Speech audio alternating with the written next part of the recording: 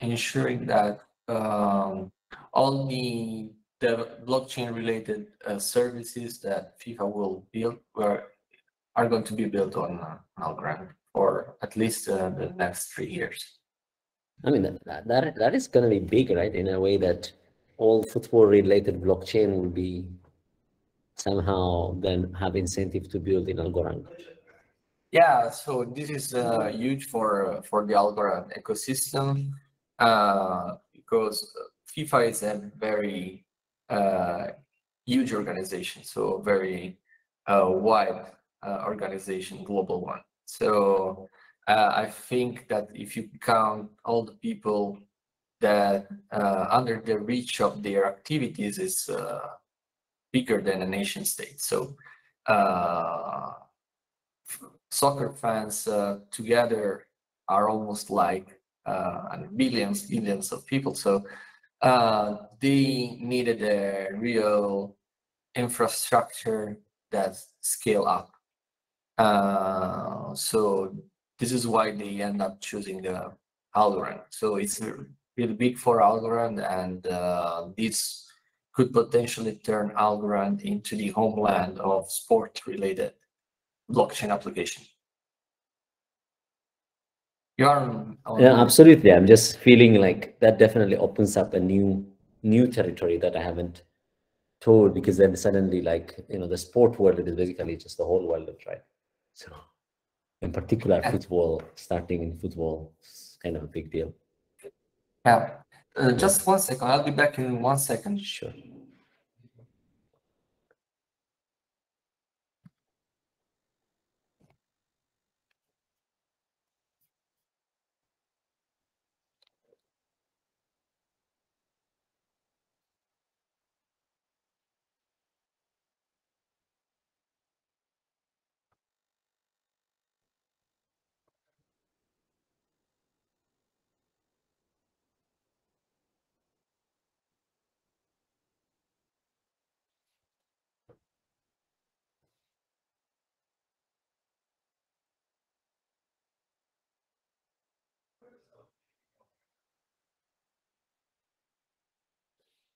Okay, are you back?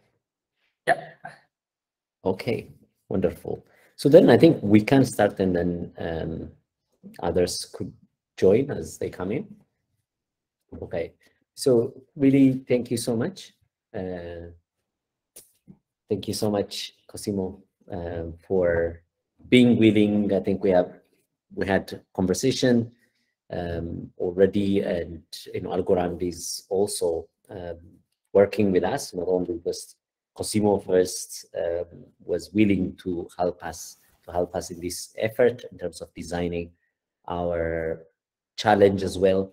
And we had a number of conversations that were really fruitful and we already know what to do. And there are three parts we thought for this batch that Cosimo would, are, is willing to help. And the first part is, of course, giving two introductory, one, this the first talk, and then the next one will be a little bit more hands-on tutorial. And then we go into the challenge, right? So th this would introduce us a lot more to Algorand as well as also the blockchain in general.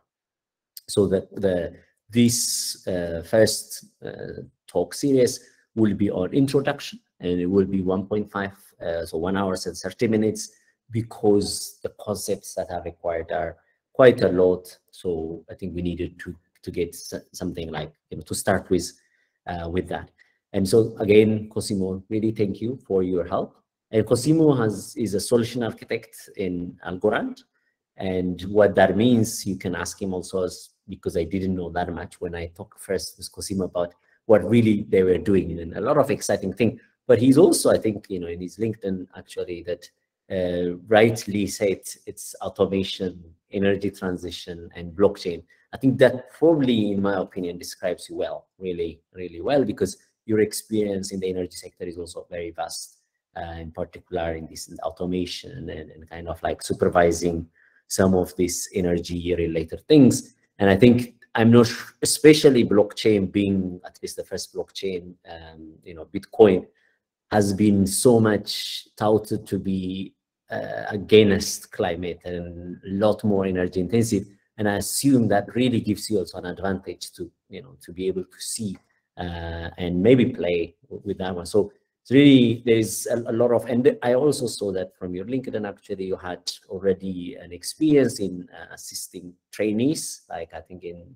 Turin, right? Um, you had already, you were already helping uh, there. And so, and your willingness to help here and you knew, like you have at least introduced to the Academy, and these are people hungry uh, who really wants to make a dent in the world, in particular in African uh, participation in, in, in crypto and, and blockchain in general, and you know the future of um, whatever the future, let's say, like uh, it could be, you know, blockchain will be probably everywhere, um, from finance to our games to probably how we're gonna run our companies and maybe even governments, right? So there's a lot of potential there. And then and being able to be the first for us to help us in that direction, we really take it very serious and appreciate um, you know your your effort. So with that, then let me just give you the floor so that you can start your introduction uh, tutorial, uh, your, your, introduction talk, Augusto. Thanks. Yeah. Thanks, Cosimo. Yeah. So thanks for the introduction and um, presentation. I'm very happy to be here uh, today talking to you guys. I hope this uh, could uh, facilitate your learning curve in uh, blockchain and Web3. And as we are going to uh, see today, understanding first of all what the blockchain is, why not all blockchain are equal is really important. Why not all the blockchain are at odds with uh, with uh, the climate sustainability uh, is important. So let me uh, first of all share uh, the the screen, and then. Uh, so just just to ask, are you happy if people kind of send questions uh, along your talk, or do you want it to answer at the end? Just uh, um, how do you prefer um, it? So I maybe it's better to postpone all the questions to the end because this okay. Will not break the the the, the reasoning sure. uh, path maybe and make yeah. easier for who are going to follow after the registration to have a a full uh, maybe explanation first. Yeah. But happy to, to take any question you guys have. Yeah, so I think uh, what we would do is exactly just like people can type their question and I'll summarize at, you know, once you, you, you reach a certain level, uh, we can, then you can try to answer those questions once you finish like the talk training. Yeah, okay. Uh, yeah, let's do that. Okay, so let me, let me share the screen. Uh,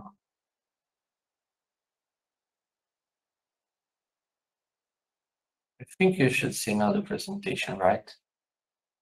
Yes, we do. Okay, so wonderful.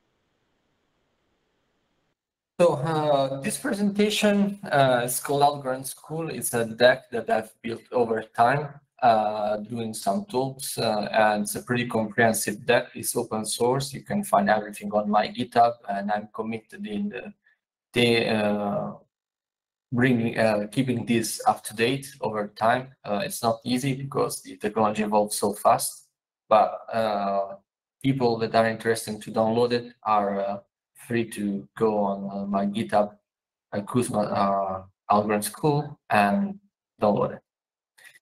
Okay, so our journey today, and maybe the next time too, is understanding how Algorand consensus work, what is an Algorand network, how to use Algorand development tools, and how to develop decentralized application on the Algorand virtual machine.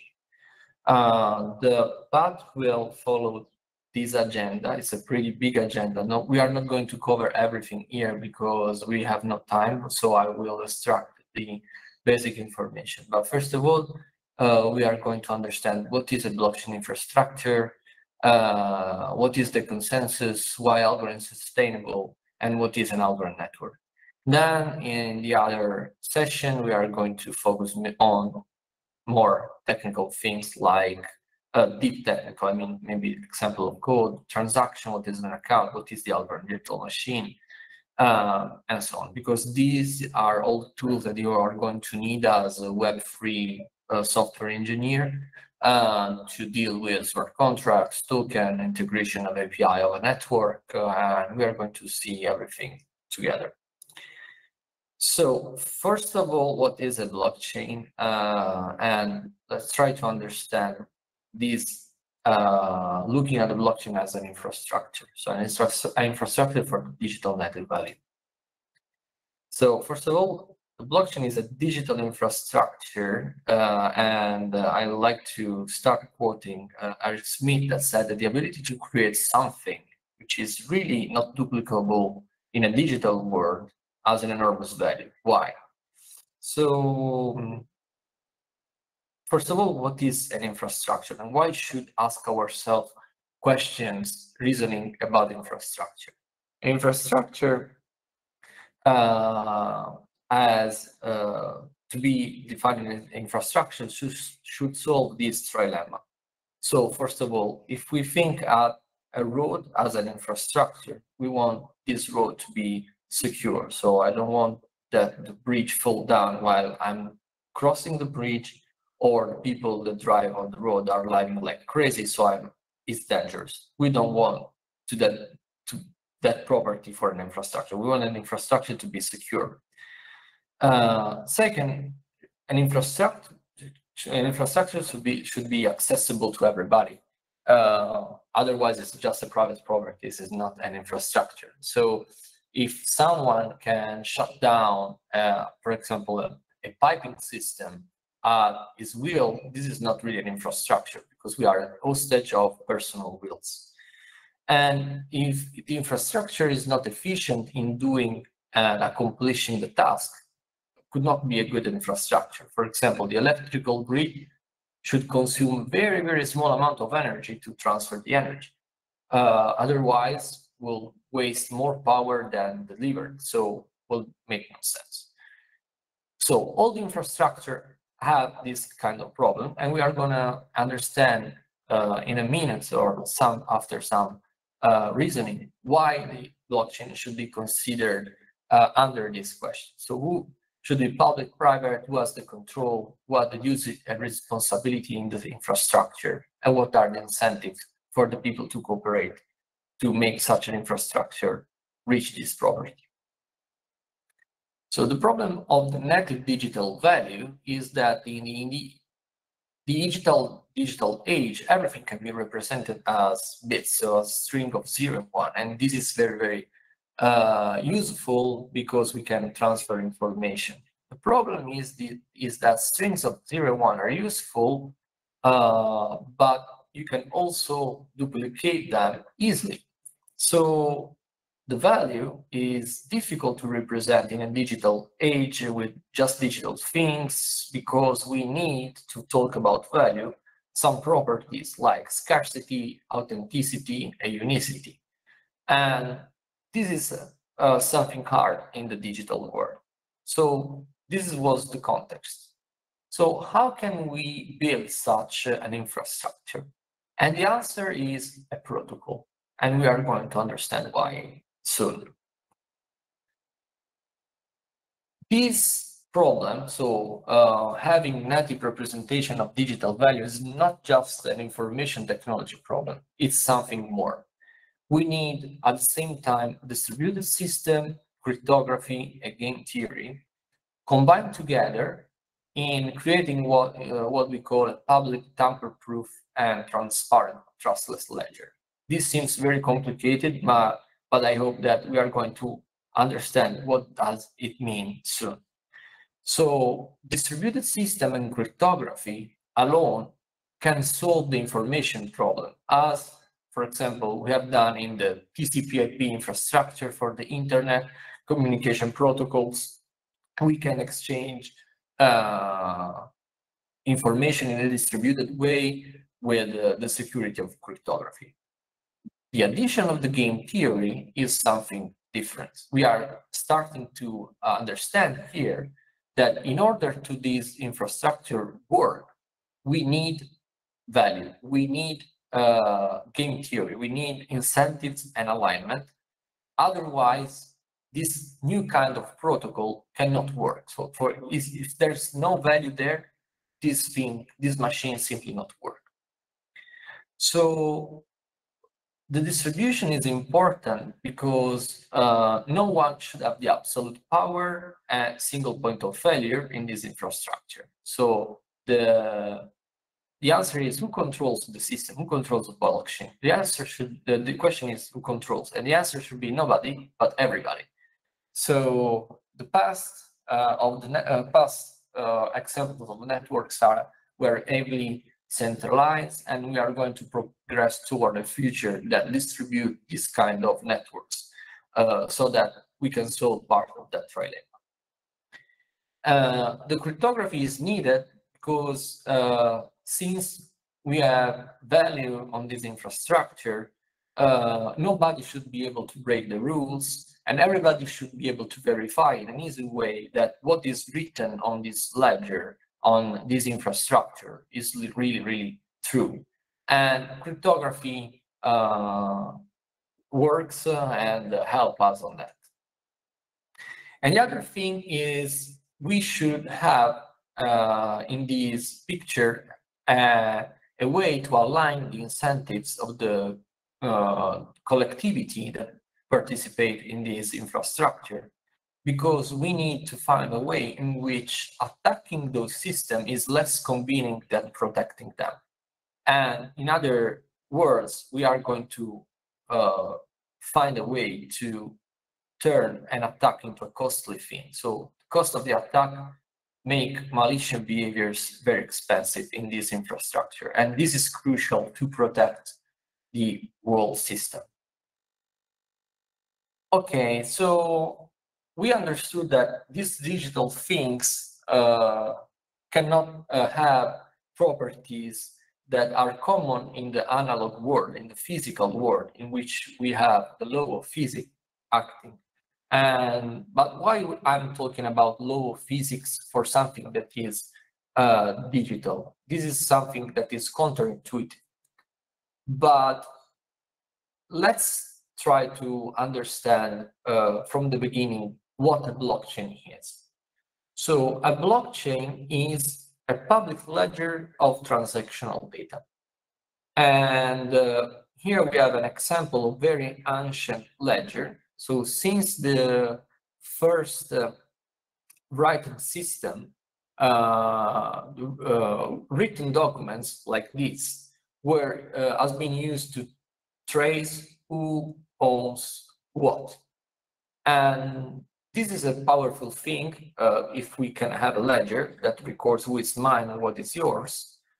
But in the blockchain, as we said, uh, this not should be in the hand of a single uh, entity. So it's better to create multiple copy of these ledgers. So we have a ledger, uh, blockchain is a ledger, but there is there are multiple copies of this ledger among these uh, distributed networks. So the copies are distributed and replicated among several nodes that are part of this network.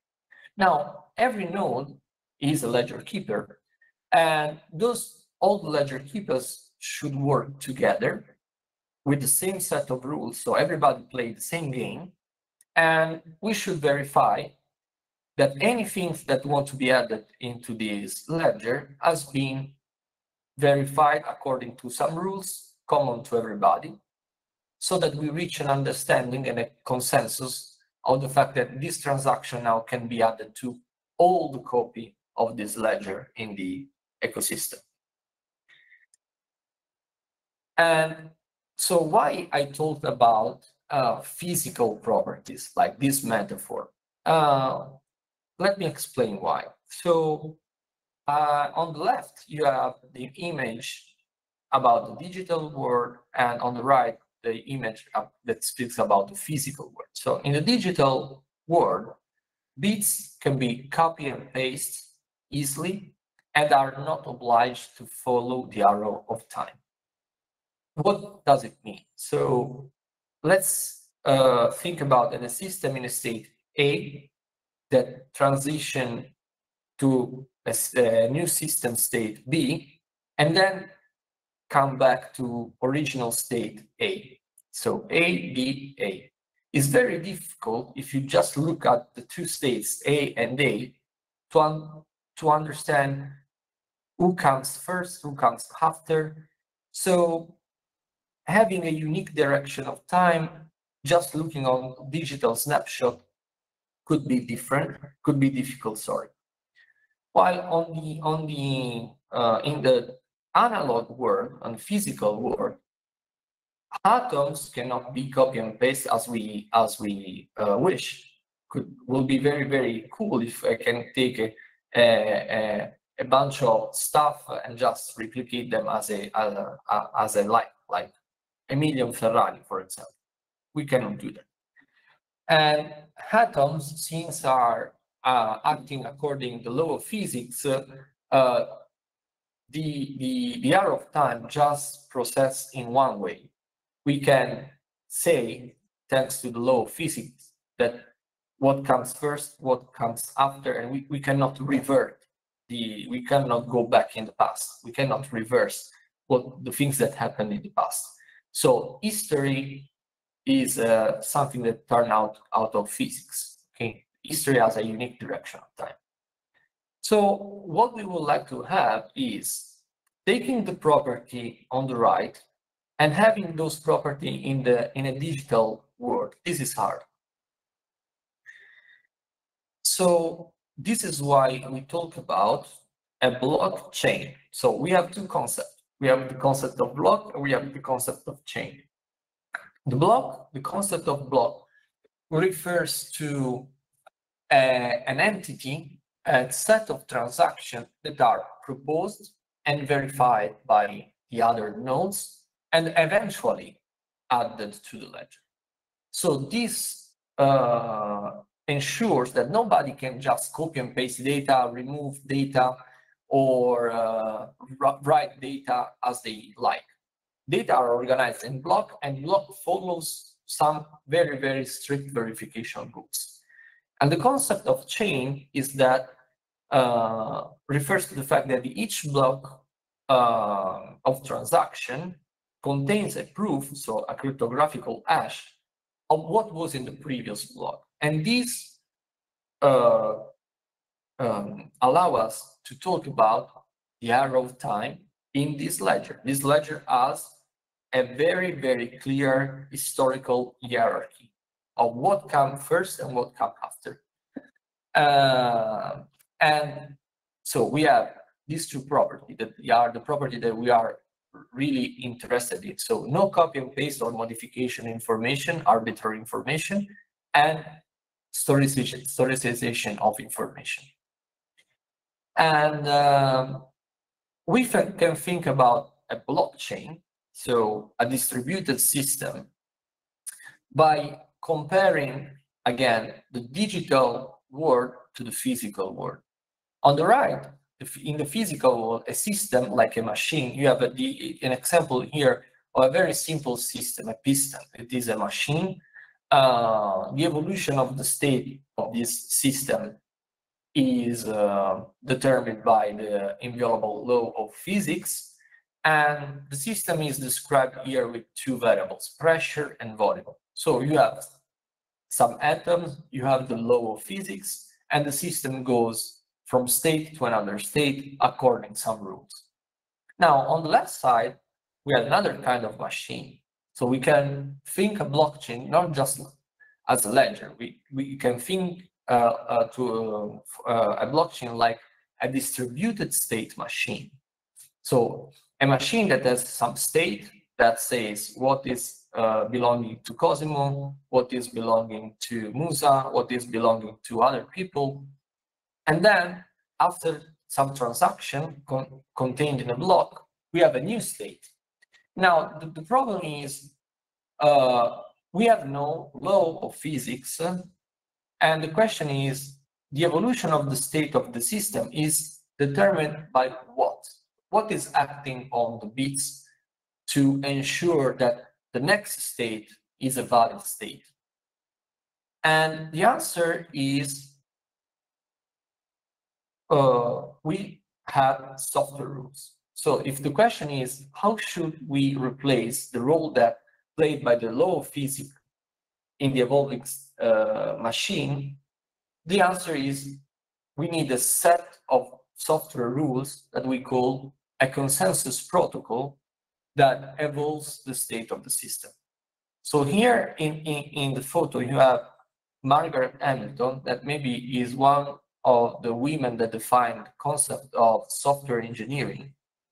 And here in the photo, you see that that, that uh, stack of paper is really the source code uh, of uh, the Apollo uh, mission. So the handwritten uh, source code needed to uh,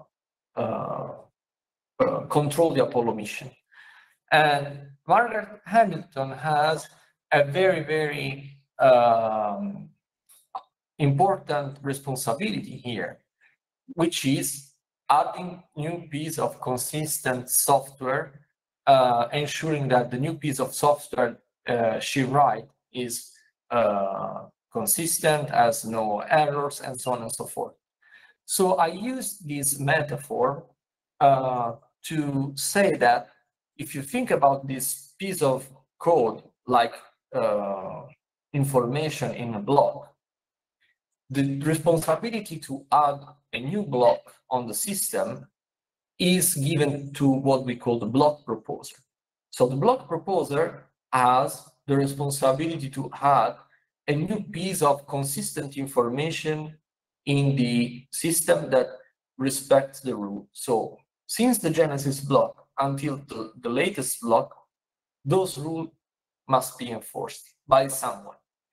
And the problem is that the real problem, the real hard question in, in, uh, in the blockchain system is who choose the block proposer? So who says that it's gonna be me or someone else to propose the new set of information? This is the real question and the hard part to, to solve in the in in this kind of system.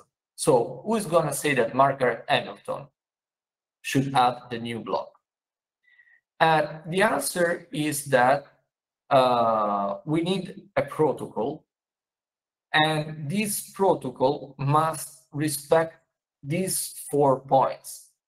So first one, who will choose the proposal for the next block if this infrastructure is public and permissionless. So there is no ad admin, there is no special uh, role in the in the system that say, okay, you are allowed to do that, you are not allowed to do that.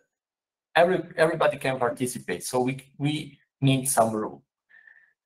How to choose the that the next block so that there is no ambiguity in the in the choice of the block. So if we said that this information is really really uh, powerful and valuable. I do not want to be in a system in which uh, part of the system says that uh, pi is 3.14, and another part of the system that say that, that pi is uh, 1100.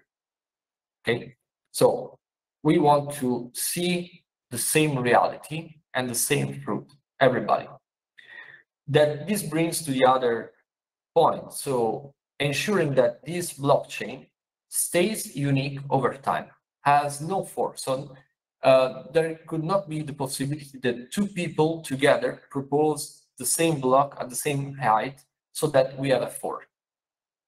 And the other thing to ensure is that since this system is like an organism, we should have the consensus rules set so that they can evolve themselves. So software can evolve, everything can evolve over time in life. So we can have also one feature of the consensus protocol is auto-evolving itself. Uh, here on the right, you have the image uh, that I choose to represent those concepts, which is the uh, Temple of Concordia in Agrigento. is a very, very ancient and beautiful temple that has been entitled to the goddess of Concordia, which is the goddess that in the uh, Roman uh, mythology and Greek mythology after uh, uh, first and after in the Roman one uh, represented the social harmony. So the agreement that we live in a common society under this is the very inspiring and powerful symbol. That's why I choose this uh, representation. So how to ensure that? Historically, uh, when the first idea about blockchain came around, uh, the answer to those questions is, okay, the protocol that we are going to use is a proof of work mechanism. A proof of work mechanism say to uh, uh, answer uh, to the question who is gonna propose the next block in this way. We have all the uh, nodes that we can call it that miners that compete one against each other to uh, append the new block. So they compete one against each other to speak to the network, to have the possibility to speak to everybody and earn something in uh, reward for that. This fight that they conduct is a computational fight. So they really have a computational battle in which they waste a lot of energy and uh, computational capacity to solve a riddle and the higher is the power that you burn, the higher is the probability that you are going to solve the riddle. And the problem with this approach uh, is that it's not very scalable, has really huge electrical consumption, and concentrates the power of being a block proposer in very few hands that are the hands of these mining farms, which are very, very huge industrial complex today uh, with rack of uh, thousands of uh, hardware pieces that compute this, uh, this riddle. And this kind of uh, proof of work has also another problem, which, uh, which is, is not free from soft forking. So in proof of work, from time to time, you can have multiple proposal in the same time. This is uh, why, uh, for example, in proof of work uh, blockchain, usually uh, they ask you to wait for six or seven blocks before being sure that your transaction has been finalized. And what came uh, after to try to solve these uh, scalability problem and efficiency problem was a concept uh, that has been called proof of stake consensus, consensus mechanism. So in this proof of stake, uh, the, the uh, to the question, okay, who is gonna uh, have the right to speak and add the next block? The answer is that the network participant now, instead of showing commitment through wasting energy, they show their commitment and interest in keeping this ledger safe by providing a proof that they own value on that ledger itself. So will be not rational to uh, attack the system on which I own my value, okay? Because I, if my value is there, I have I am more incentivized in in protecting the system. And the higher is the skin in the game that I have in on the ledger, the higher is the probability of being elected as a pro block. So the problem was that this kind of proof of stake has been implemented uh, historically in two ways. One is what we call bonded proof of stake, so that validators must commit some stake, lock the stake uh, to be admitted in among the validators. Um, and the problem with this approach is, first of all, participating in this kind of consensus makes the protocols uh, makes the stake not liquid because you lock this stake. And the other fact is that uh, there could be an economical barrier to the entry to this system because not everybody can afford to lock a reasonable amount of value just for the sake of validating a blockchain. So uh, asking to put there uh, a barrier of entrance in economical terms makes this uh, kind of consensus protocol harder to decentralize. And the other, uh, in another kind of uh, proposal that came after was the delegated proof of stake, in which you say, okay, if you cannot put all that stake, but you have minor stake, then uh, just delegate your fraction to someone else so that together this uh, grouped node can uh, participate. The problem is that, first of all, this is centralized by, by design uh, because you have few huge nodes, delegated nodes that act on system. And second is that this has some risks because if you have few nodes, few delegated nodes that are well established and known to everybody in the system, this is like uh, for an attacker, this is like uh, playing battleship, knowing in advance the coordinate of the adversary. So I really, it's really easy for a, for an adversary to target the the nodes with the, for example, denial distributed denial of service. So this problem, this this approach had some problem. And the question to uh, to go back to the principle is, okay, we have an infrastructure, and as, infra as an infrastructure, we have a trilemma that is what we call the blockchain trilemma, but it's really an infrastructure trilemma, and it says, uh, could a blockchain be at the same time secure, scalable, and decentralized? And the answer that Algorand has is yes. And the uh, answer is a technological answer. And the name of this technological answer is pure proof of stake, which is the consensus mechanism that has been designed by Silvio Micali, which is one of the father of the modern cryptography. Silvio is the founder, the Algorand founder, is a professor to the MIT, uh, is a Turing Award, which means that it's like a Nobel Prize in computer science. And he has been he has spent his whole life working on cryptography uh, and distributed system and is also the father to modern primitives that are today used in all the protocols uh, blockchain internet like zero knowledge proof probabilistic encryption digital signatures and so on and so forth but okay what are the properties of algorand Algorand is scalable, yes, can scale to billion of user.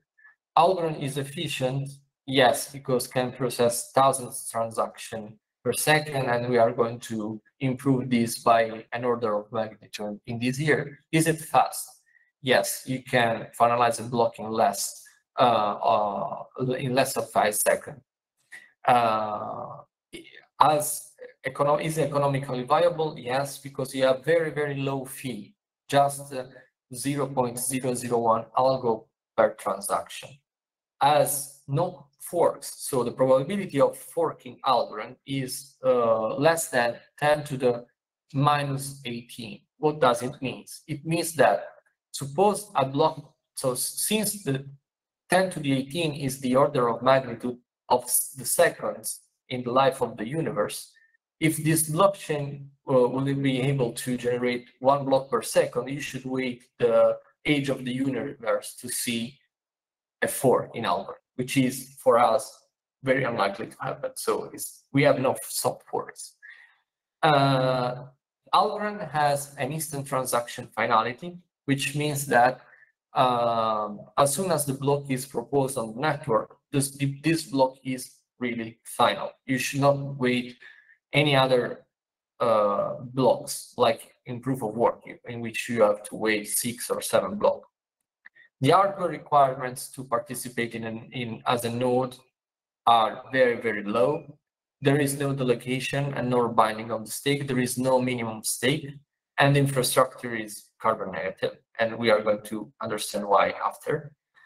And so this means that you have no barrier, so that the pure proof of stake lowers all the barrier to the entrance and the participation to the consensus protocol, which means that nobody can say, no, I cannot participate, because we, we, we ensure that almost everybody with a minimum hardware and minimum stake, uh, no minimum stake, sorry, can really participate in the consensus.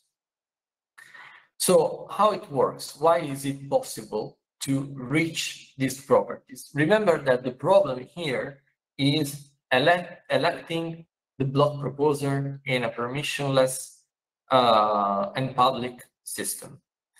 So the answer to the problem for Algorand is we use this proof of stake. So imagine this coin is an algo in your stake. And we use uh, for each algo this concept that we call VRF, which, which stands for verifiable random function, which is a, a cryptographical primitive invented by Silvio Micali.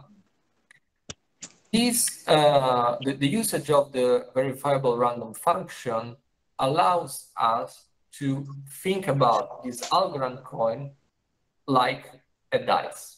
So imagine to have uh, that if you own some algo, you own some dice. You have some dice. And those dice are perfectly balanced and are really equiprobable. So nobody can tamper with the results. So you by no means uh, you can make the phase number six more probable than the phase number four. Then these dice, these uh, these magic magical cryptographical dice um, have other nice property like observing these dice rule you have no possibility to increase the chance of guessing the next result. So you do not learn anything by looking at this randomness. And each dice is unique and uh, is uh, recognizable uh, because it's signed by its owner. So if I roll a dice, you will see a, a signature on, on the dice that says that this dice belongs to Cosimo. And nobody can roll those dice on my behalf. And the result of a dice roll is publicly verifiable. So as soon as I launch the as I launch the, the dice, everybody in the network can verify that yes, Cosimo obtained the number six in this block. And how uh, uh, we use these uh, mechanism. How we use this verifiable random function can that gives this magical property in the protocol.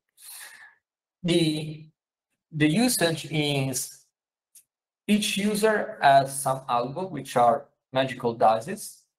And um, for each new block, so for each new round of the blockchain, uh, everybody is able to launch the dice in a distributed parallel and secret manner. So which means that the, the dice are rolled in my hardware and nobody see that. But once I have uh, seen that my result is the winning result, I can speak on the network and I can say my uh, word on the next block.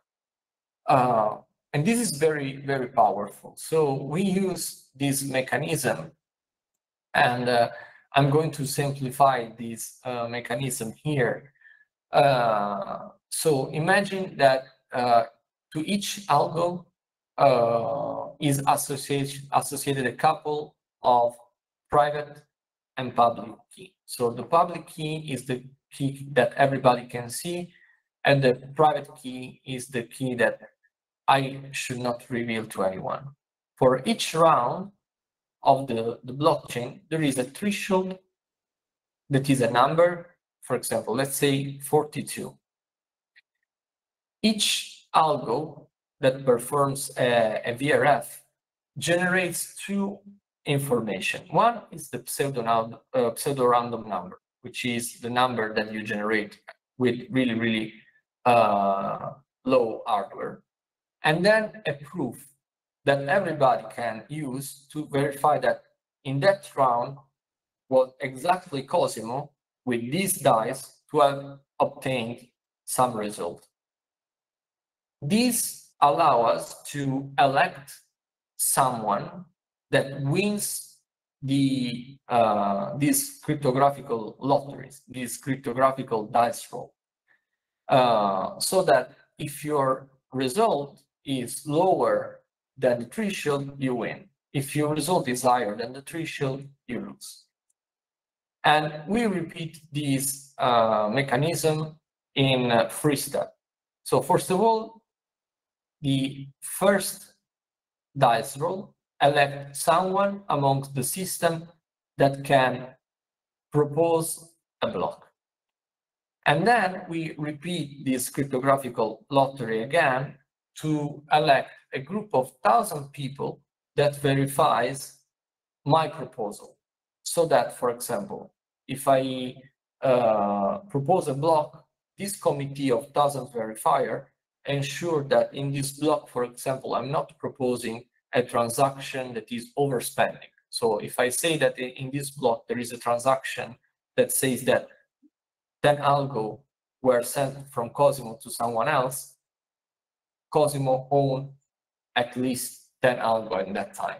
So there is no overspending and all the rules that we want to enforce. So we elect a block proposer, we propose a block, we elect a, a committee of thousand verifier. If they together reach a consensus, a quorum, they certify a block and they append this block to the to the ledger. So the question is, okay, but how long does it take? And it's really, really fast. It, all this process takes just 4.5 seconds globally to happen. So each 4, 4.5 seconds, we generate a new block. Uh, is this secure? Yes. Why is this secure? Because in Algorand, this lottery happens in parallel on your own hardware.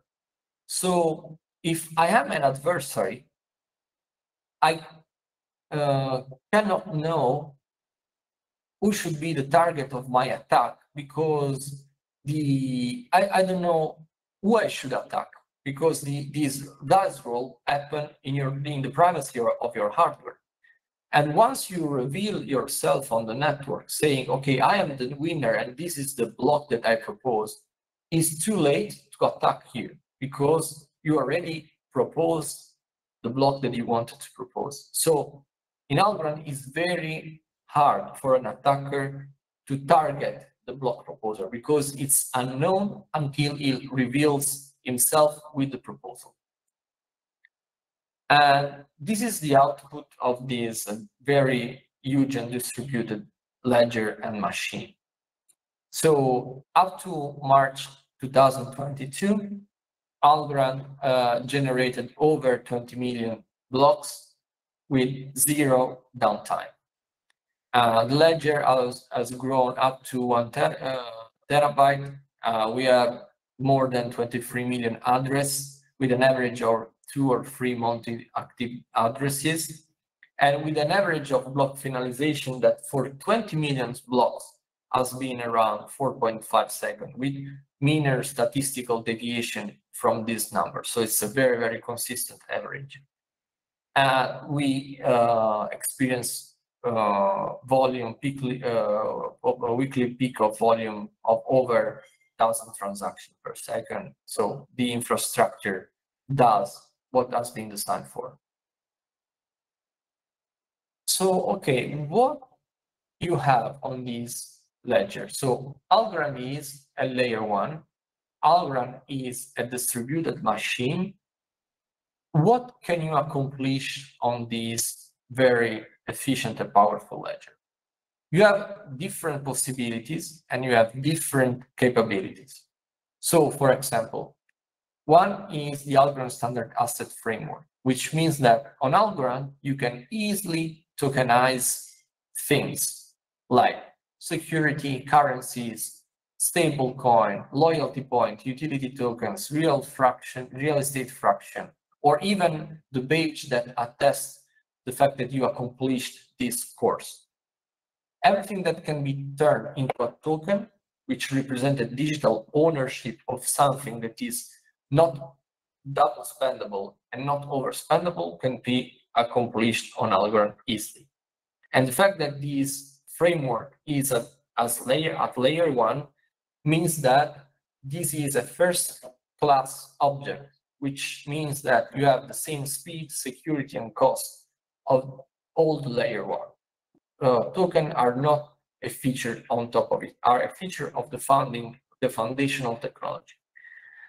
Then you have this other very powerful tool uh, that we call Algorand Virtual Machine. The Algorand Virtual Machine is an execution environment built on top of the distributed system that executes applications that are commonly known as smart contract, uh, which are programs that enforce the rule of the game and are executed uh, really uh, in a distributed and, and secure way.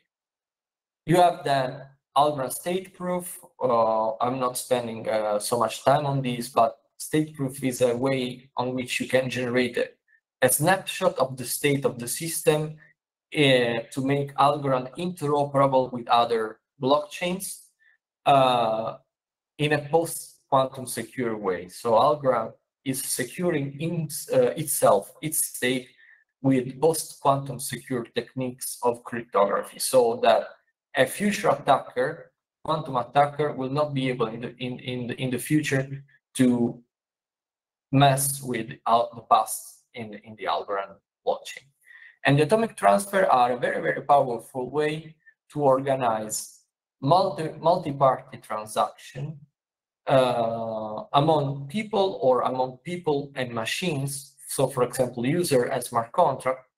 So that, for example, if you have very, very complicated transaction, like I want to sell a piece of real estate, if and only if you pay someone else, if and only if some other condition are met on the uh, on a smart contract, you bind every condition, everything together, and these conditions are going to be approved altogether or rejected altogether. This means that you can orchestrate very complex um, interaction on Algorand with zero counterparty risk. So what does it mean that the execution happen on on uh, on layer one?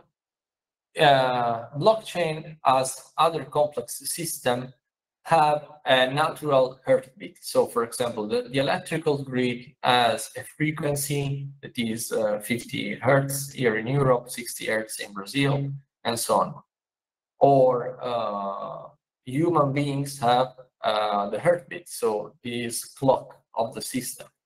In, in the blockchain, the clock of the system is the block time. So the, every 4.5 second, this system must accomplish all, all the operation to verify the block.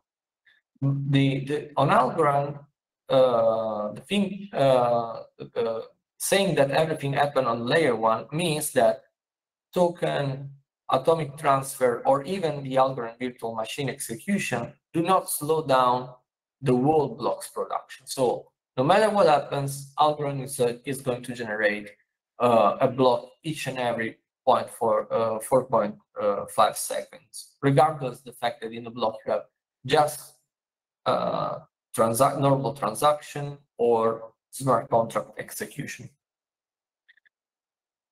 And okay, we basically answered uh, the, this, this question, what does the execution layer one mean? And now I would like to add some uh, words on the sustainability of this whole system, because in our uh, view, being permissionless as a system uh, does not mean being responsibilityless with respect to the environment in which we operate. Okay, we cannot hide behind the excuse of being permissionless to not to give up responsibility over technology. We do not want to do that. So proof of work, uh, like we said, is very, very wasteful. And, and we think that our planet can no longer afford these unsustainable technologies for innovating. Uh, and if we compare as an order of magnitude uh, ourselves against the existing technology, this is more or less uh, a matter of really order and order of magnitudes. So for example, in uh, other blockchains based on proof of work, uh, the average energy consumed per each transaction could be also thousands of kilowatt hours. So if you put this number as a comparison of the height of some buildings, this will be that Bitcoin is twice the Burj Khalifa, Ethereum is almost the Eiffel Tower, while Algorand is uh, the paper sheet thickness. But you can say, okay, you like to win easy because you are comparing yourself as a proof of stake blockchain against a proof of work. What about the other proof of stake? And the answer is that when the going get tough, tough get going. Because if you want to really compare uh, two systems that now are really close uh, with respect to the magnitude uh, of the energy consumption, you should take in, uh, in account the whole system capability to have a fair comparison. Because blockchain sustainability must consider uh, at the same time the scalable end user transaction, the finality of the transaction, node hardware, so the decentralization and the security of that uh, network.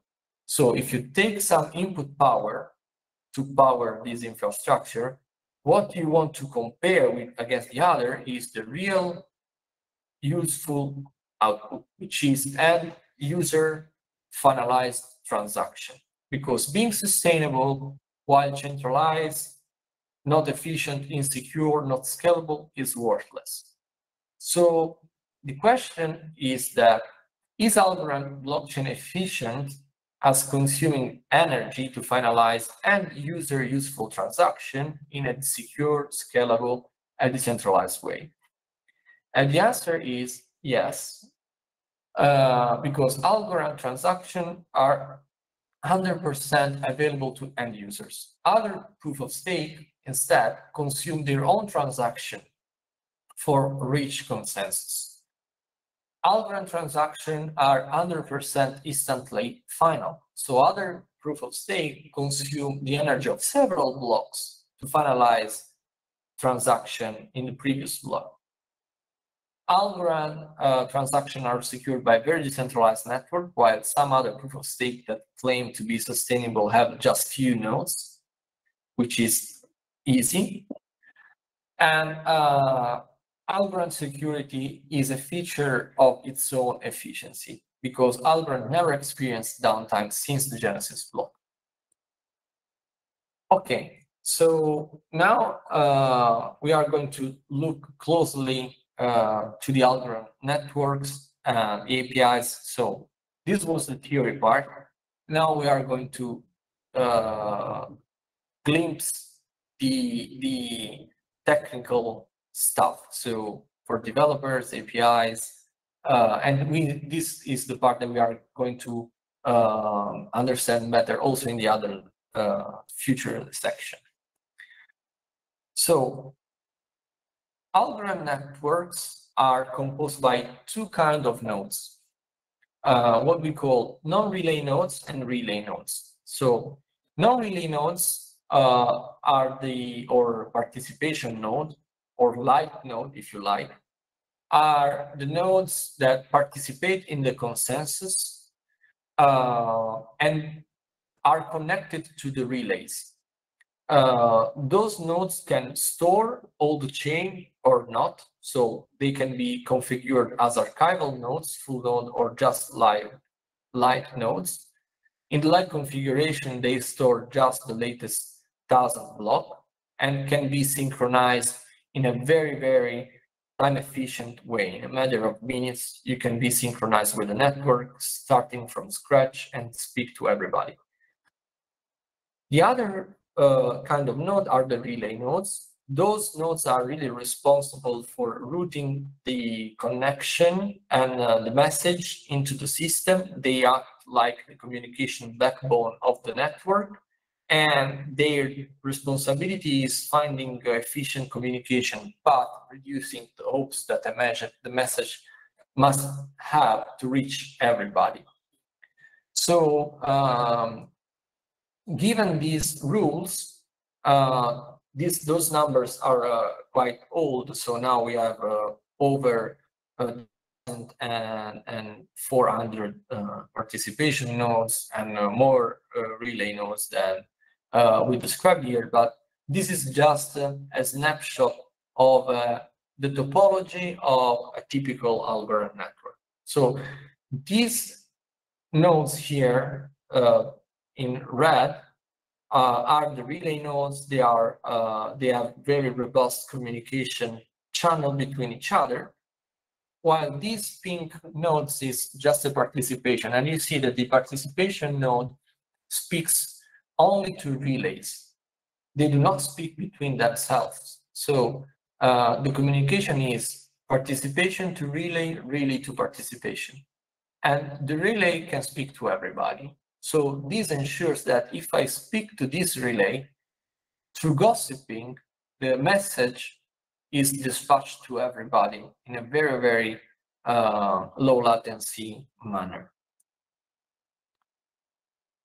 So as a developer, uh, the question is, okay, how can I access this network? What I need to start developing and building on, on, on the system? And the answer is that you need two information. Once, one is the REST API endpoint, the IP address of the endpoint, and the other is a token to the authentication of the API. So you can uh, ask to myself, uh, to, to me, uh, okay, how do I get those information? And the answer is you can uh, instantiate an algo the client, which is the client uh, uh, of, of an endpoint, in three ways. So the most, the, the classical way is, since this is a permissionless blockchain, run your own node. So you can run a node uh, in Linux environment, in uh, very, very, with very, very low hardware requirements. And you can have, uh, provide uh, the endpoint and the access token by yourself. So you run the node and you, you self-provide to you the endpoint. And once you have the endpoint, all the queries, all the API requests are submitted to your node and the node speaks to the network as we said. The other uh, way to join the Algorand network as a developer is using a third-party service. So there are some public APIs, some public services that give you, give you the possibility to join the Algorand network, not running uh, by not running uh, a node on your, on your own. So if you want just to uh, make some, uh, I don't know, uh, example, uh, some work really quick and dirty, maybe you can use the free APIs that are available. Or maybe if you want to run a business in production, but you want to read from the duty of maintaining the nodes, you can maybe have um, a paid version of their API. So this is like a business or a free way to uh, access with the low volume to the Algorand network. There is another uh, very interesting way to uh, interact with Algorand networks uh, for a developer, which is uh, the sandbox. The sandbox is a Docker container. I don't know if you are familiar with Docker technology, but it's like a, a really, really small standard virtual machine that has inside a micro Algorand network uh, with one, just one node. So your, your own node, your own consensus, so there is nobody there. But there is everything that runs on Algorand. So the Algorand virtual machine, the token, everything.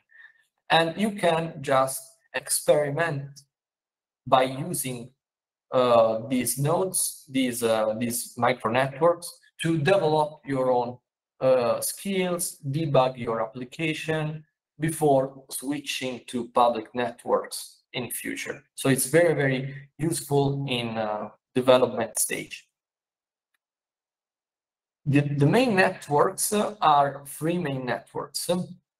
We have the testnet, the mainnet, and betanet. So the mainnet is the original network. So the, the real network that has value, which is that, that is capitalized, in which the algo has real value.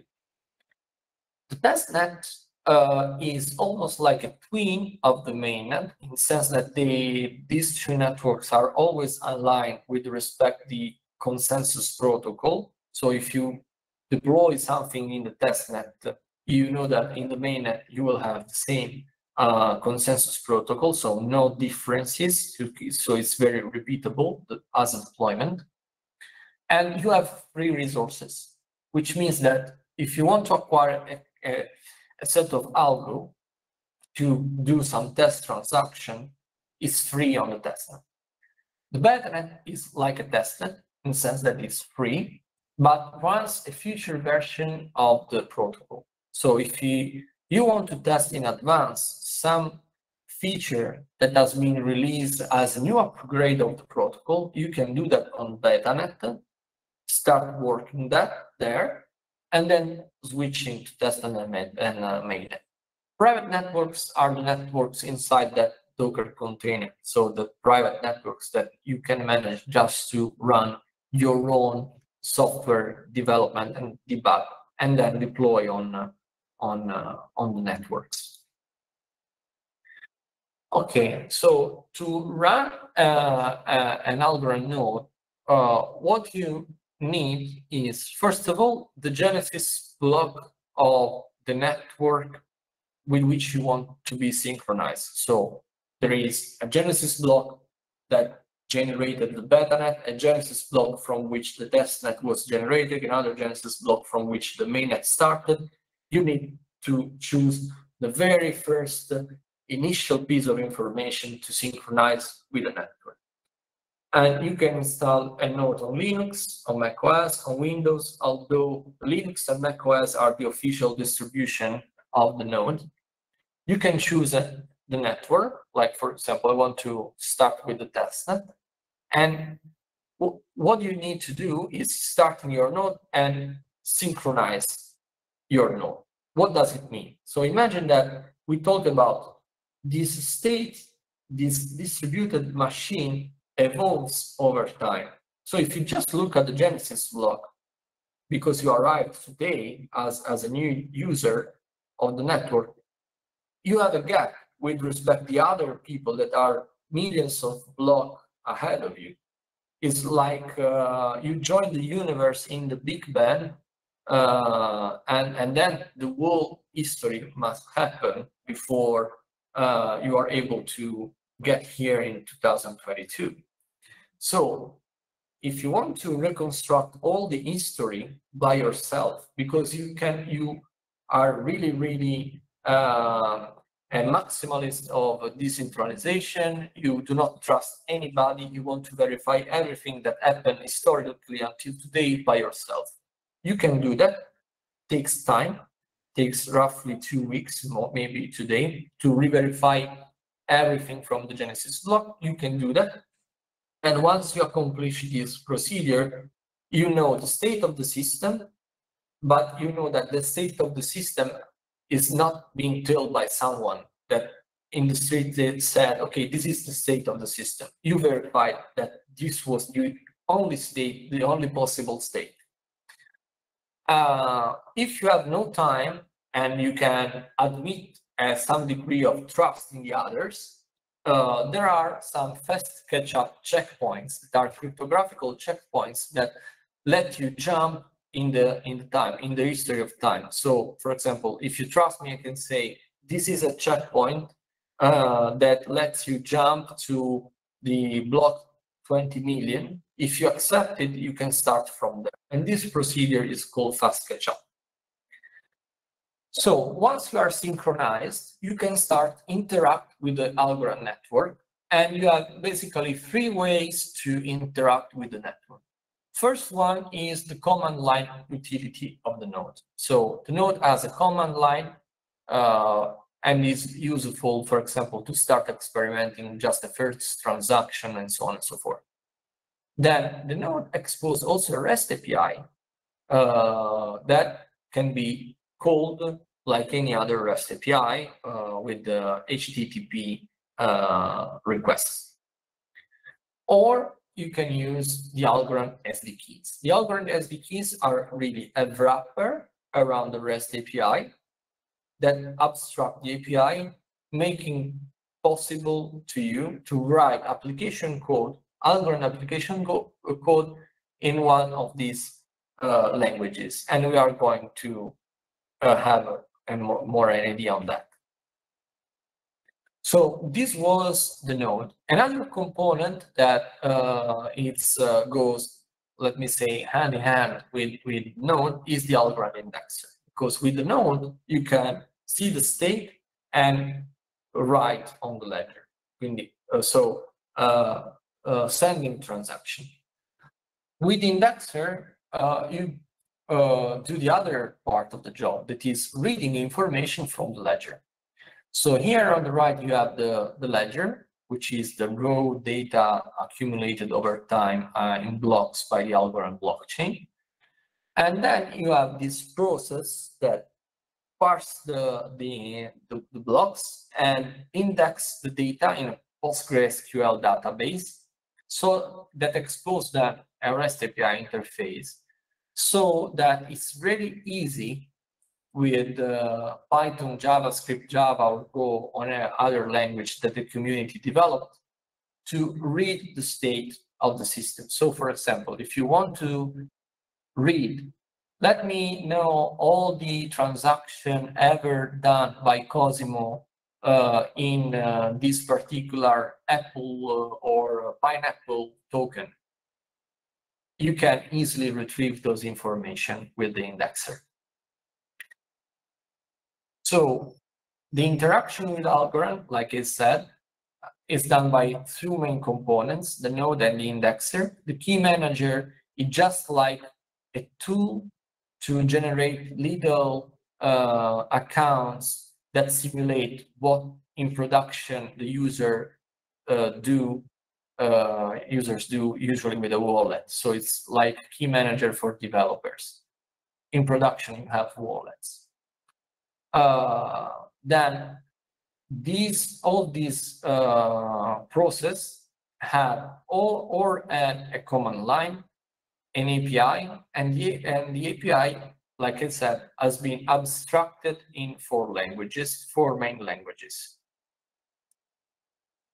These main languages are Java, JavaScript, Python, and Go.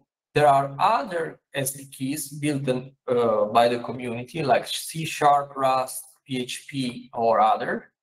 The difference is that if you rely on the top four, you know that the documentation, the maintainability, the upgrade are synchronized, are always up mm-hmm. to date because the Algorand team and engineering is working on that too. It's not just the community. These other are just driven by the community, so could be synchronized or not, depends on the open source contributors. So my suggestion is that start using the official one. Everything that I said and every information that I will share in the other session is written on the Algorand Developer Portal, which is a huge and rich source of information for Algorand.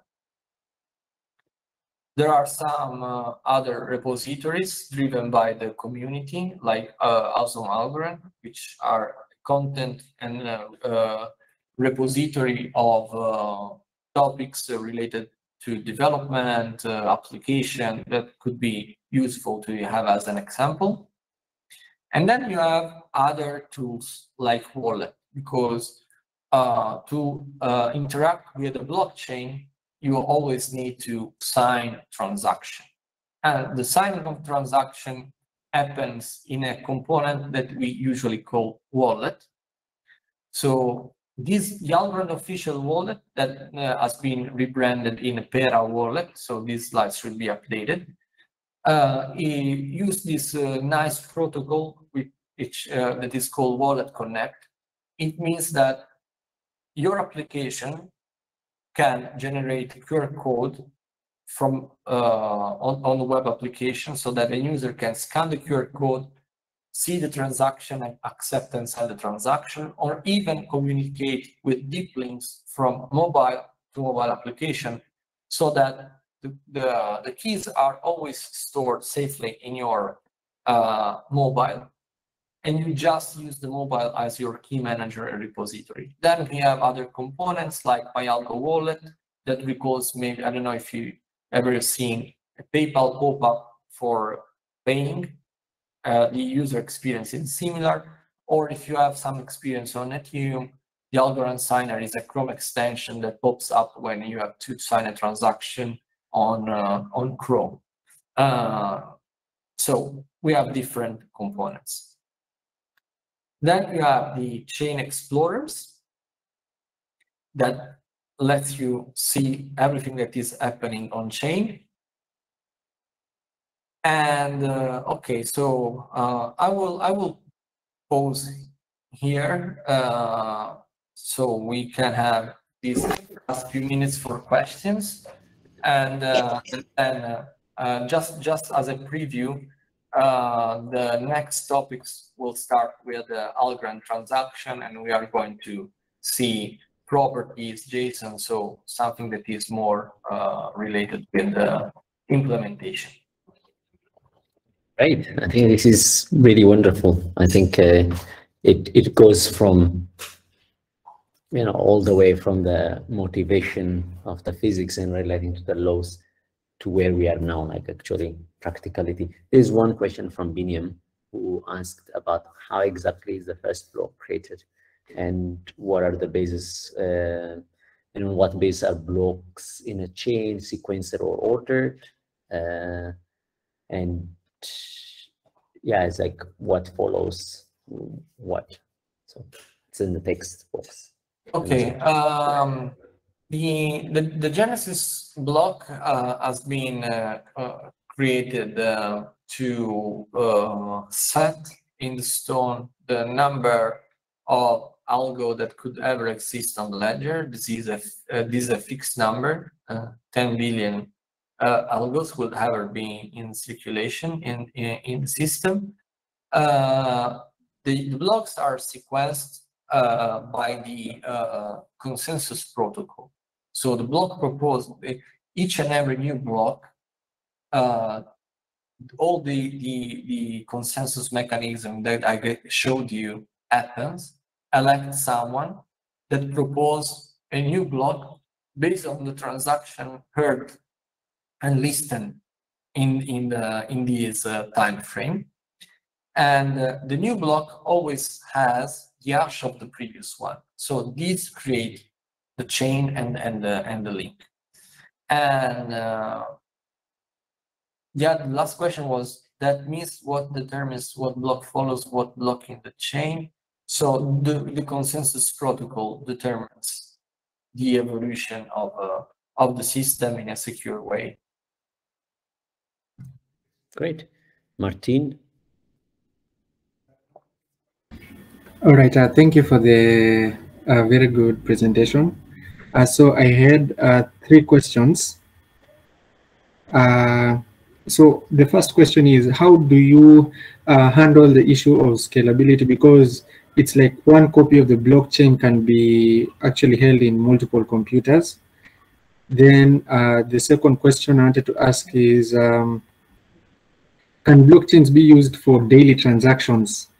Uh, can you use blockchains for every, like on a daily basis? Because uh, the way it's uh, very decoupled in nature.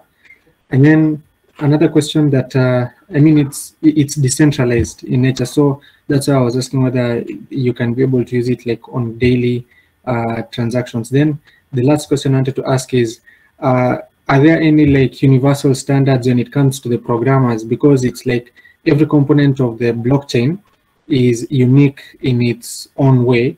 So uh, there's a way that uh, it can make it quite hard uh, when programmers are trying to develop like even coding standards uh, that they can use just for the environments and all that. Uh, let me post the question so that it can be helpful. Okay. Uh, yeah, it's a good resume. So uh, let's uh, go step by step and uh, please, uh, Martin, uh, tell me something if I miss or I forget to answer to some of these questions. So can the blockchain be used for daily based transaction? Yes. this infrastructure is has been built, Algorand has been built to handle everyday financial activities of humankind. So daily transaction to pay uh, for your food, to transfer value for your family uh, abroad, uh, to invest your money in tokenized asset, uh, to represent financial uh, instrument, to tokenize real estate. So there is no limit to the capability of daily usage in transaction on, on Algorand especially in those countries where transacting is hard due to the lack of a reliable infrastructure for payments, for example, or for remittances, or so on. So this was a question. The other question is handling uh, what that makes life as daily transaction. No, uh, Algorand can uh, now process 1,000 transactions per second is going to scale up to 10,000 transactions per, per second. So uh, we are going near to the average transaction per second that global uh, card system today process for daily transaction. So uh, it's not uh, going to slow down the chain. Uh, has been built to sustain this kind of volume. How does to handle the issue of scalability? Uh, so scalability problem is uh, can you uh, scale up uh, in sense that you can process uh, thousands and thousands of transactions per second among billion and billion of users? This is the scalability problem in a blockchain. And the answer is uh, the evidence that I give you about the results of Algorand uh, speaks almost for themselves uh, in terms of scalability. You can finalize, uh, instantly finalize transaction in few seconds uh, among billions or uh, millions or billions of accounts. So uh, this is how we handle the scalability problem. Um, standards about programming. Okay, uh, blockchain space is relatively new. This lecture was a theoretical introduction to blockchain. We are going to see more stuff, hands-on stuff for programmers the next time. Uh, but the, the answer is Algorand has built all the tools to let the development experience be easy. So for example, on Algorand, you can have, a, I use Python, so you can use a Python uh, SDK uh, to create transaction, sign transaction, create uh, new accounts, uh, submitting application call to smart contract, or even programming a smart contract in Python. So uh, this is something that we are going to see in the next time uh, when we focus more on development tools. Uh, and yeah, Algorand uh, put a lot of effort in uh, in simplifying the uh, development experience. Just uh, just if I may add, just one probably maybe confusion that could be is that because the block creation takes 4.5 second, while we talk about transaction 10,000 transactions per second, maybe just you can elucidate what does it mean you know normally also um, in a normal actual transactions verification versus kind of like uh, checking whether the account has certain amount so that you know you can accept. Things like that might might be the issue. So just can you explain what does it mean block yeah. creation versus you know 10,000 transaction per second? Yeah, so the, uh, the block is this entity in which you can put several uh, transaction. So uh, in Algorand today, the block contain an average of 5,000 transactions, more or less. This block is uh, this these blocks could be generating could be generated in each and every 4.5 seconds. So if you take into account 5,000 transactions per block with a block that is produced uh, in 4 seconds, 4.5 seconds, this give you roughly a bit more than 1,000 transactions processed per second on, on, uh, on average. So this that does not mean that the effect of a transaction is in one second. So if I send something to Arun, uh, it will take four seconds to to uh, to him to see that he's re, uh, received the token. So the latency of the system is 4.5 second and is going to be reduced to 2.5 second in this year. Uh, but in this 2.5 second, Algorand can process thousands and thousands and thousands of transactions so that on average, we can handle a throughput of roughly 10,000 transactions per second. Great. Yeah, I think I think it's just this. It's not like the, when the block is created in that block, there could be like the transaction that was sent actually one second ago or half a second ago. So that's that's how like kind of in terms of the statistics or the distribution of the timestamps in that block would that's what you're talking about, right? Like yeah. So for, for, for example, you uh, once uh, so uh, uh, in parallel. So let let's think about this example. Everybody in this lecture want to send a transaction in the same second. For example, you take everybody takes the, the phone and send the transaction. These transactions are submitted to the, to the network. And me, as one node of, of the uh, of the network, I will listen to all your, the transaction that want to enter in the ledger. So from Arun, for Yabi, for Muzar, for Anastasia, for everybody.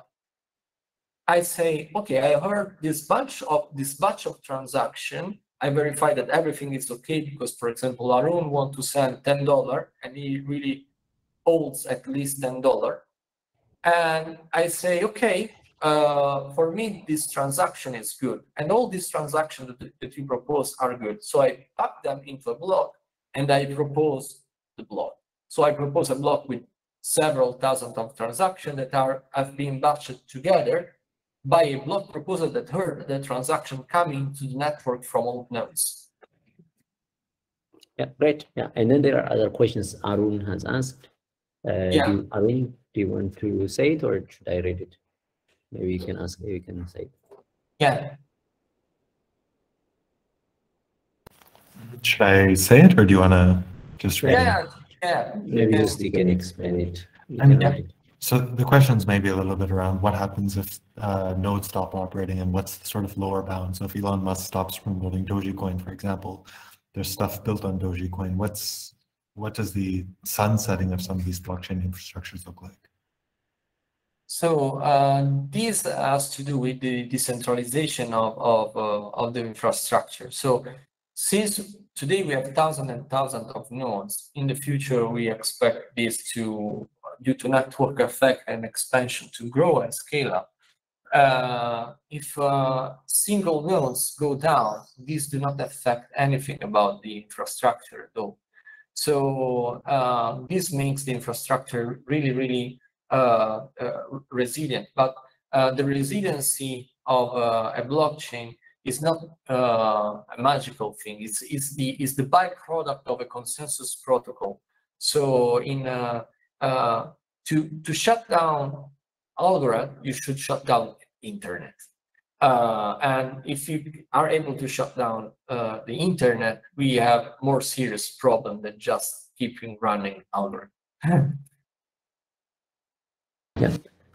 And okay, so just for the sake of time, then I'm going to read uh, the rest. So Bakar Bangura asked, can someone interact with Algorand blockchain using MetaMask wallet, or is it just Algorand wallets? Uh, so uh, there are some uh, integrational development uh, going on uh, with the technology that is called MetaMask uh, Snap. It's not in production, it's in test environment, uh, but potentially this is something that Meta is a, a MetaMask uh, uh, product. So Algorand can simply be integrated as any other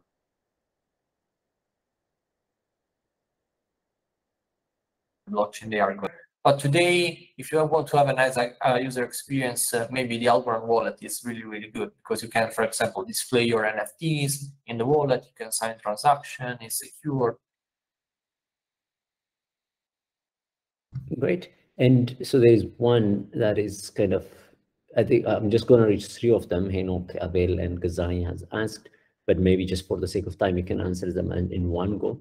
So one is like, why is forking uh, concern um, for blockchains because he has heard ETH fork from 2016, but he doesn't understand it fully. So um, when you say that uh, Algorand has low, very low probability of fork, what does it mean and what does it imply?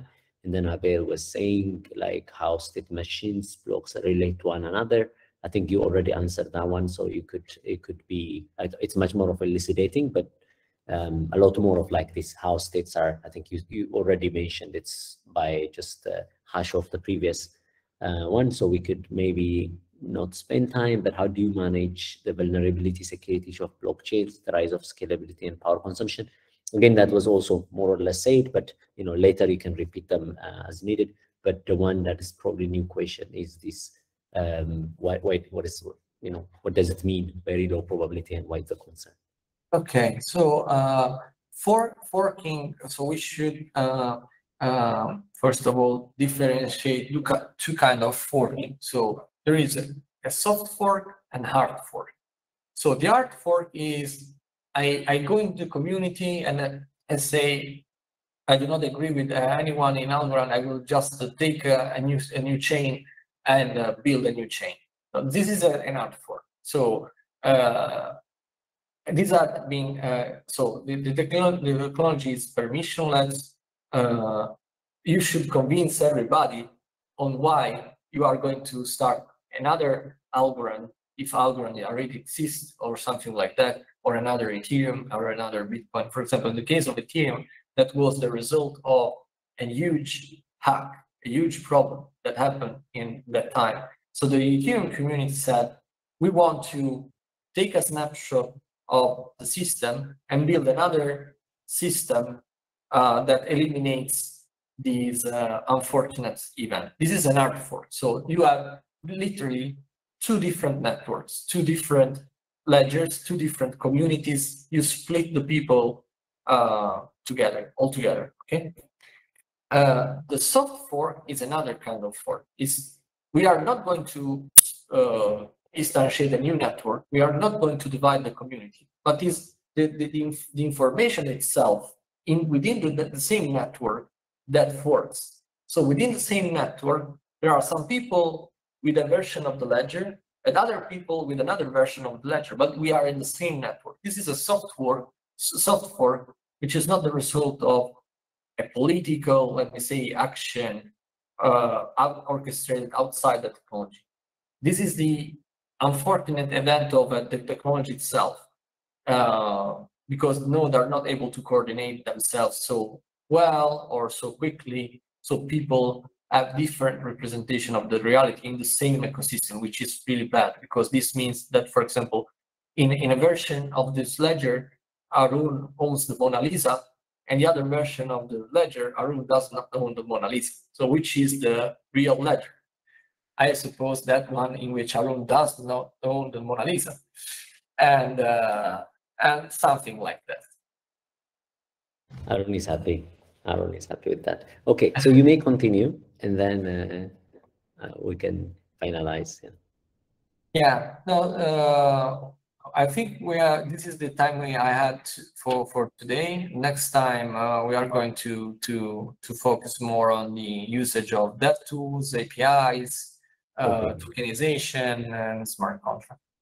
Okay, in that case, then maybe you can answer just maybe just be a little bit to elucidate the question or with Abel and Gazain, just much more of on the, you know, how states are chained. Uh, just just somehow going back to your slide, maybe if that helps, and seeing, you know, showing what it means, like the, you know, one one chain is linked with other with hash, and then also vulnerability security issues uh, on blockchain. Maybe you can from Gazain. Yeah. Uh, so the imagine Algorand uh, is a state zero, which is a Genesis block um, or maybe some point uh, in the history of Algorand, the state of Algorand says, for example, Cosimo has 10 token, Arun has the Mona Lisa. Uh, the smart contract uh, number one as the, the variable uh, color equal equal to red. This is the state of the system. Now, we want to evolve the state of the system.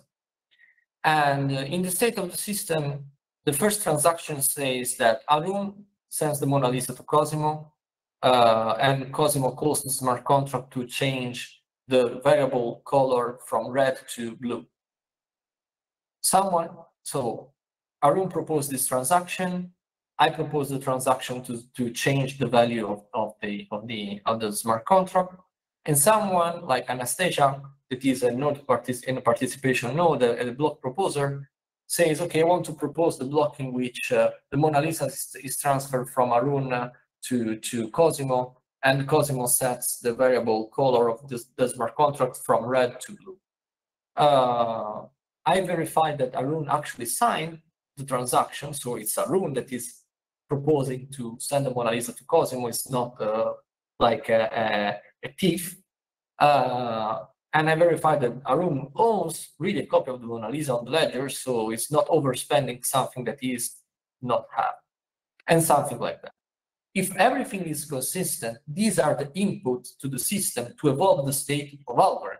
So if someone comes after this block and looks at the state of the system, now we'll see that Arun does not own the Mona Lisa anymore because it's belonging to Cosimo because he sent it to me. And if I look at the smart contract, I see the color of the smart contract is now blue, it's not red. So the state of the system has been evolved.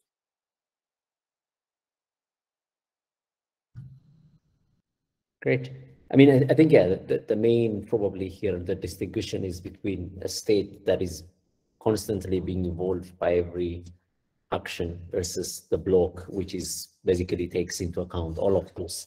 Um, so it, it maybe is like like how do you handle like is the states uh, require verific you know the verification uh, because every transaction or every uh, kind of signal uh, is changing so how's that structured within the Algorand is it like does it before verification?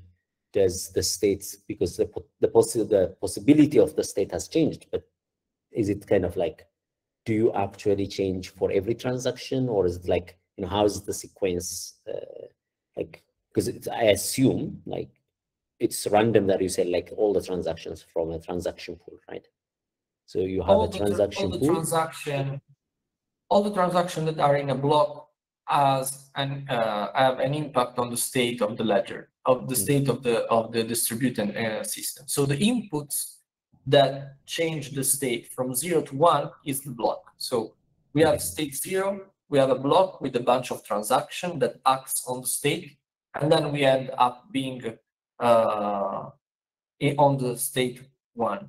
So if the transaction that is the input to the change of the state in the system are acceptable, are respects the rule of the game, the system will move from zero to one, from red to blue, from Mona Lisa being in her own state to uh, balance to Mona Lisa being in the Cosimo balance sheet.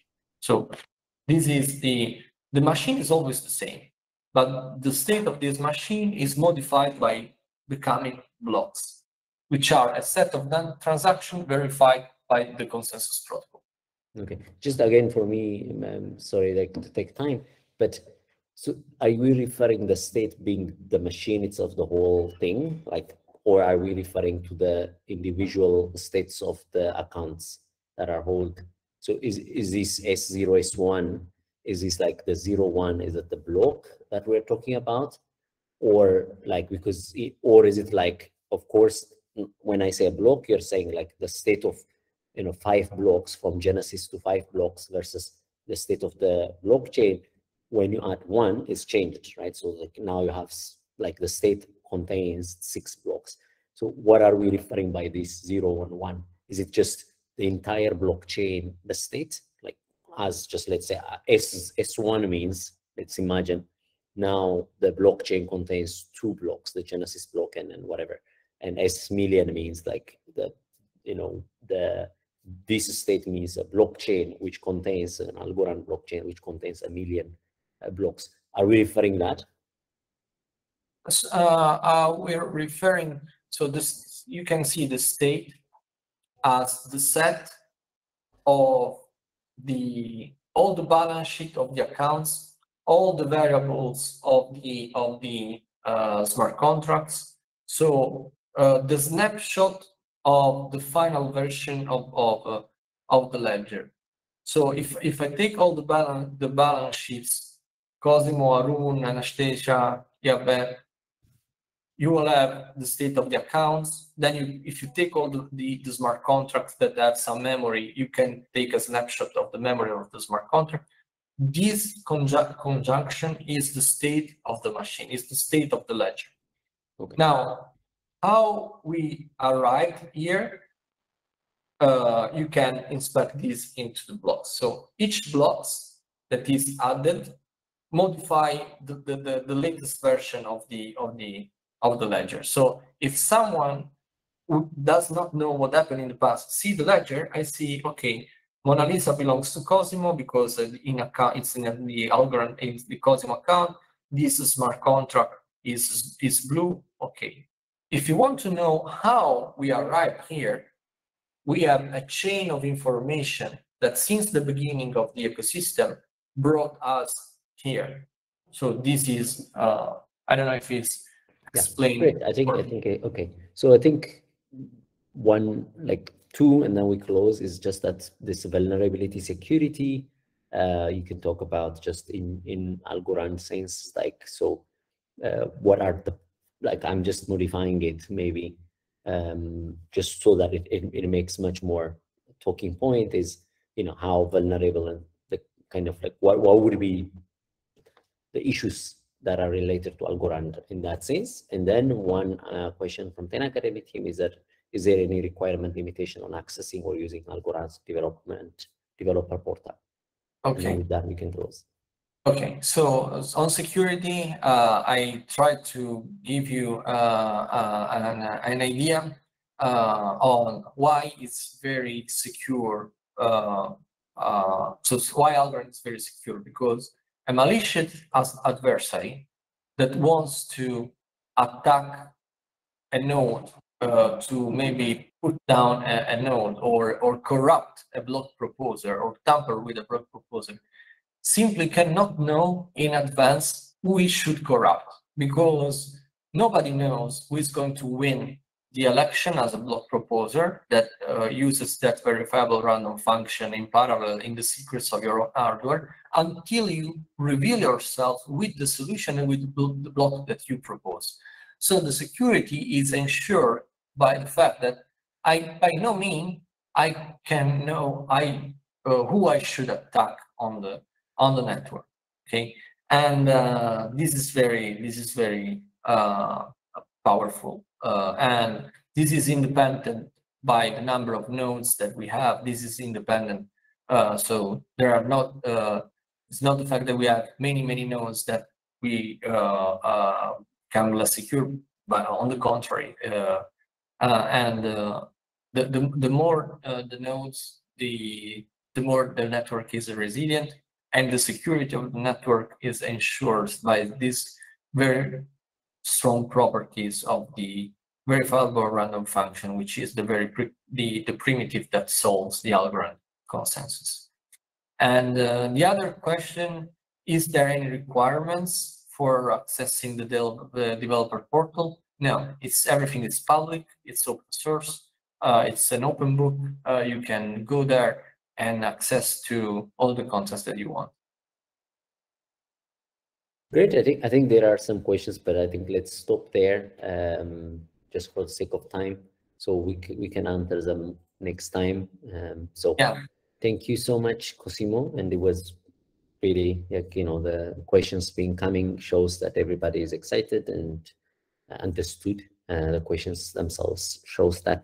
So thank you so much again, and then we will arrange the next one where we talk where you will talk. Um, more of the detail and the implementation. Sure. Thanks you for thanks for having me. Thank you. And yeah, thanks a lot. See Thank you you. next time. Cheers. See you. Bye guys. Bye.